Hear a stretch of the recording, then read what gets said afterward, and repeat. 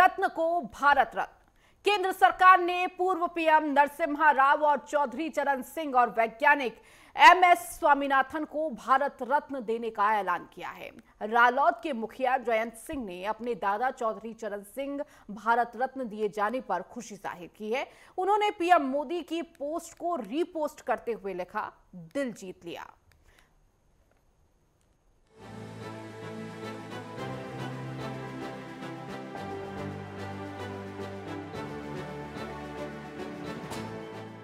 केंद्र सरकार ने तीन बड़ी हस्तियों को भारत रत्न का ऐलान किया है। पूर्व पीएम नरसिम्हा राव, चौधरी चरण सिंह और वैज्ञानिक एम एस स्वामीनाथन को भारत रत्न देने का ऐलान किया गया है। पीएम मोदी ने खुद एक्स पर पोस्ट करते हुए इसकी जानकारी दी। एक साथ तीन भारत रत्न, चौधरी चरण सिंह, पूर्व पीएम, नरसिम्हा राव, पूर्व पीएम, एम एस स्वामीनाथन, कृषि वैज्ञानिक पीएम मोदी ने चौधरी चरण सिंह को याद करते हुए अपने एक्स अकाउंट पर पोस्ट कर कहा, हमारी सरकार का ये सौभाग्य है कि देश के पूर्व प्रधानमंत्री चौधरी चरण सिंह जी को भारत रत्न से सम्मानित किया जा रहा है। ये सम्मान देश के लिए उनके अतुलनीय योगदान को समर्पित है। उन्होंने किसानों के अधिकार और उनके कल्याण के लिए अपना पूरा जीवन समर्पित कर दिया था। उत्तर प्रदेश के मुख्यमंत्री रहे हो या देश के गृह मंत्री? और यहाँ तक कि एक विधायक के रूप में भी उन्होंने हमेशा राष्ट्र निर्माण को गति प्रदान की है। वे आपातकाल के विरोध में भी डट कर खड़े रहे। हमारे किसान भाई बहनों के लिए उनका समर्पण भाव और इमरजेंसी के दौरान लोकतंत्र के लिए उनकी प्रतिबद्धता पूरे देश को प्रेरित करने वाली है। दरअसल, रालौद के मुखिया जयंत सिंह के दादा और किसानों के मसीहा और पूर्व प्रधानमंत्री चौधरी चरण सिंह को काफ़ी समय से भारत रत्न देने की मांग उठ रही थी। पीएम के ऐलान पर जयंत चौधरी ने पोस्ट करते हुए लिखा दिल जीत लिया।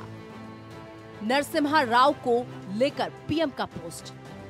वहीं कांग्रेस नेता और पूर्व प्रधानमंत्री नरसिम्हा राव को भारत रत्न देने का ऐलान करते हुए पीएम मोदी ने कहा, ये बताते हुए खुशी हो रही है कि हमारे पूर्व प्रधानमंत्री श्री पीवी नरसिम्हा राव को भारत रत्न से सम्मानित किया जाएगा। एक प्रतिष्ठित विद्वान और राजनेता के रूप में नरसिम्हा राव ने विभिन्न पदों पर रहते हुए शानदार तरीके से भारत की सेवा की। उन्हें आंध्र प्रदेश के मुख्यमंत्री, केंद्रीय मंत्री और कई वर्षों तक संसद और विधानसभा सदस्य के रूप में किए गए कार्यों के लिए सम्मान रूप से याद किया जाता है। उनका दूरदर्शी नेतृत्व भारत को आर्थिक रूप से उन्नत बनाने, देश की समृद्धि और विकास के लिए एक ठोस नींव रखने में सहायक था। पीएम मोदी ने आगे लिखा कि प्रधानमंत्री के रूप में नरसिम्हा राव का कार्यकाल महत्वपूर्ण कदम उठाने के रूप में जाना जाता है। जिन्होंने भारत को वैश्विक बाज़ार के लिए खोल दिया, जिससे आर्थिक विकास के एक नए युग को बढ़ावा मिला।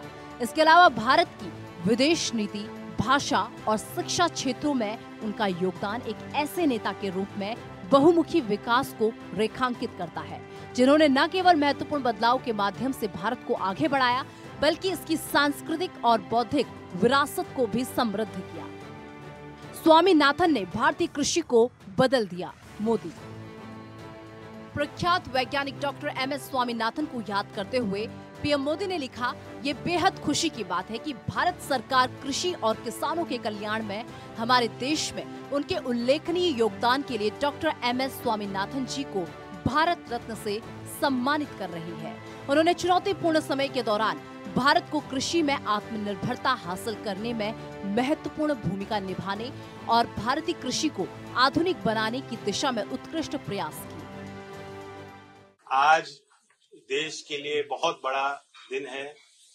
मेरे लिए भावुक पल है। ये यादगार पल है, स्मरणीय है। मैं भारत की महामहिम राष्ट्रपति जी को भारत सरकार को और विशेष तौर पर प्रधानमंत्री नरेंद्र मोदी जी को, क्योंकि उनके विजन का हिस्सा है, जो उन्होंने निर्णय लिया, भारत रत्न से नवाजा है। तीन अवार्ड दिए गए हैं, खासतौर से चौधरी चरण सिंह जी को जो सम्मानित किया है। बहुत बड़ा संदेश पूरे देश में गया है। देश की भावनाएँ इस सरकार के इस फैसले से जुड़ा हुआ है, जुड़ी हैं। और ये साबित किया है मोदी जी ने कि वो देश की मूल भावना और चरित्र को बेखूबी समझते हैं और जानते हैं। तो मैं फिर कोटि कोटि धन्यवाद देता हूँ, आभार व्यक्त करता हूँ।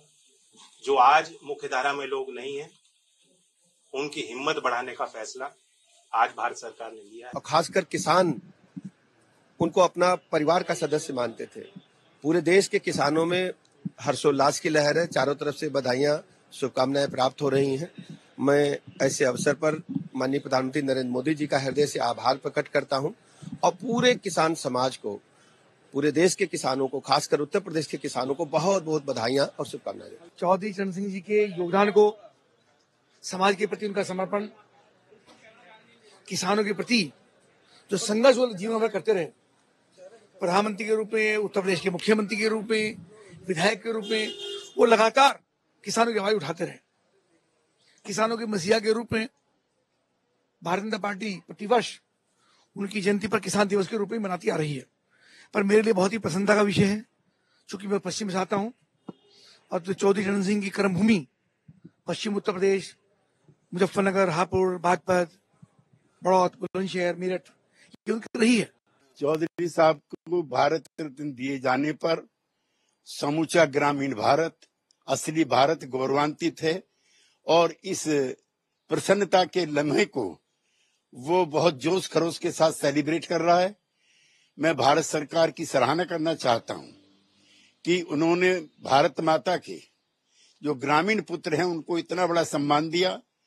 वो आज़ादी की लड़ाई में जेल में रहे, वो आपातकाल में जेल में रहे और उन्होंने ग्रामीण भारत के विकास की जो नींव है, वो भारत में डाली कि असली भारत को सही सम्मान देने के लिए वो बधाई के पात्र हैं। देखिए, मैं इसमें अपनी उपलब्धि मानता हूँ, क्योंकि अभी तीन चार दिन पहले मैंने ये पार्लियामेंट में उठाया था कि चौधरी चरण सिंह जी को, मान्यवर काशीराम जी को, विजय सिंह पथिक जी को, राजेश पायलट जी को और बाबा महेंद्र सिंह टिकैत को भारत रत्न का अवार्ड दिया जाना चाहिए।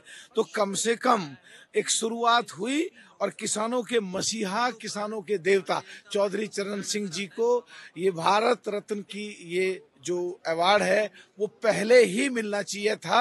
अगर कांग्रेस की सरकारों के समय में नहीं मिला और आज मिला है तो ये देश के लिए, देश के किसानों के लिए, पिछड़े समाज के लिए एक बहुत ही बड़ी बात है। बहुत बधाई और चौधरी चरण सिंह जी के लिए मांग समाजवादियों ने भी की थी। अभी कुछ दिन पहले आपको याद होगा। और जितने लोगों को भी भारत रत्न मिला है, मैं उनको बहुत बधाई और शुभकामनाएँ देता हूँ। तीन बड़ी हस्तियों को भारत रत्न देने के ऐलान के बाद देश भर में खुशी की लहर है।